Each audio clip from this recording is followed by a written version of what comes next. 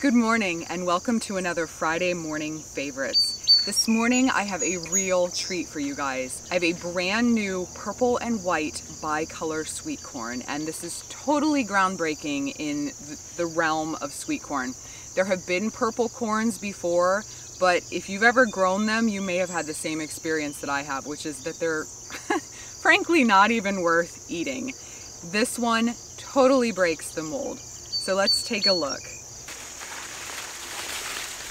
to find the perfect ear here.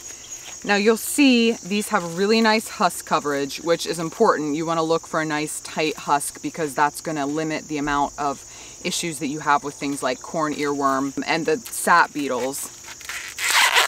But these things get really plump, really, a really nice fat ear of corn. And you can see just how beautiful that purple coloration is.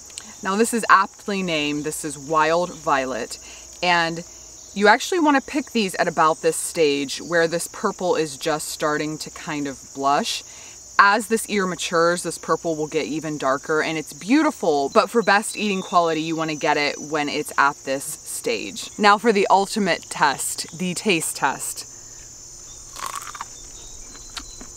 Mm, that is one good ear of corn. It's incredibly juicy, tender. It's got a nice deep kernel that you can really sink your teeth into. And it's sweet, but it still has this really nice, rich, kind of old-fashioned corn flavor.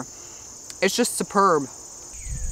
Another attribute of Wild Violet is that it is not just a pretty face. You can see that this produces a really nice stand of corn. These plants are tall, they're gonna average about six and a half feet. They are healthy, and they're every bit as productive as pretty much every other hybrid sweet corn that I've grown in my garden. Now the one thing to keep in mind when growing wild violet is that this purple coloration will actually transfer to your other sweet corn. So for example, I grew this next to a yellow and white bicolor this year and that variety of corn was actually showing a few little kernels here and there that had the same purple color. Likewise, because I grew it next to a yellow and white bicolor, I'm getting a few little yellow kernels on this wild violet as well. If you truly want the straight purple and white bicolor, it needs to be isolated. Now, as long as you grow it with other SH2 or augmented SH2 varieties, the eating quality is not going to be affected. It's just gonna be that color, so that's something to keep in mind. So drop a line in the comments. Let me know if you're planning on growing wild violet next year in your garden. And be sure to stop back for another Friday morning favorite. Thanks for watching and I'll see you next time.